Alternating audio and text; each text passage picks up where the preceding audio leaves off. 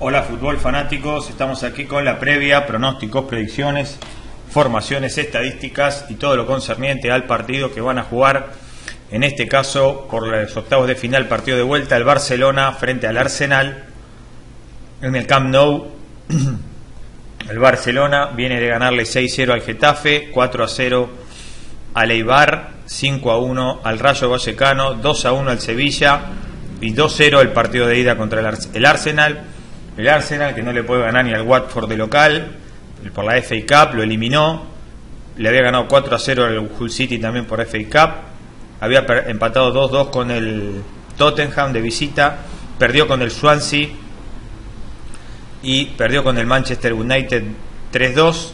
El historial de estos eh, equipos en la Champions 2016 es la última, el último partido ganó Barcelona 2-0. En la del 2011, 3-1 ganaba el Barcelona de local y 2-1 ganaba el Arsenal allá en, en, el, en su estadio. El anterior, el 6 de abril 2010, 4-1 ganaba el Barcelona de local y habían empatado 2-2 allá en la cancha del Arsenal.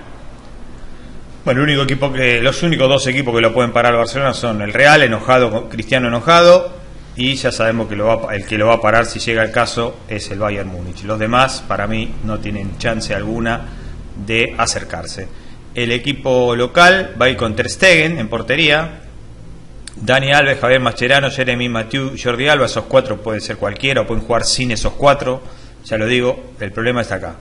Rakitic, Busquets, Iniesta, Neymar, Luis Suárez y Messi, ¿no? Ese, ese rectángulo ahí, fatal, para cualquier equipo.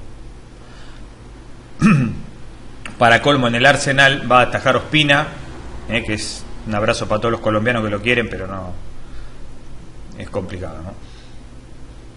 Nacho Monreal, Gabriel Paulista, Permeter Sacker, Héctor Bellerín, Francis Coquelin, Mohamed El Neni, Mesut Özil, Joel Campbell, Alexis Sánchez y Oliver Giroud.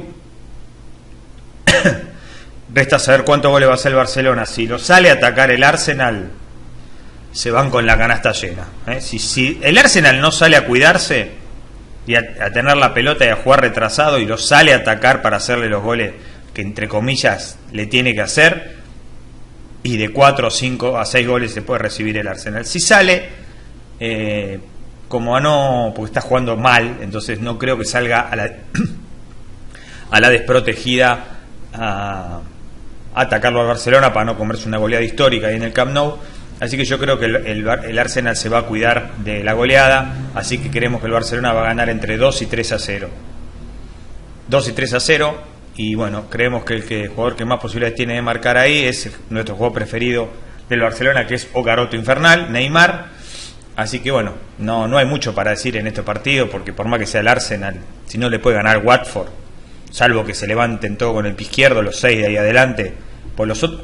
Tienes cinco que no existen. El arquero y las cuatro defensores pueden poner cualquiera. Pueden poner la defensa del Getafe, la defensa de, del Hull City, la defensa de cualquier equipo de segunda acá de Argentina, del Atlético Tucumán, de perdón, del San Martín de Tucumán, de cualquier equipo, y bueno, no importa, pero los seis que están acá te ganan siempre los partidos. Así que bueno, dependen de ese rectángulo, bueno, que no se levanten resfriados dos de los seis porque ahí se complica, pero este, nosotros vemos eso. Por ahí puede anotar un gol eh, el equipo del Arsenal, porque después el segundo probablemente, o el primero, porque por ahí están un poco distraídos. Y, como la defensa no marca a nadie, por ahí se le va como le pasó con el Sevilla y se le va uno, mete un centro y bueno, se hacen un lío barro entre Macherano y el otro y le hacen un gol, pero no lo, no lo veo igual.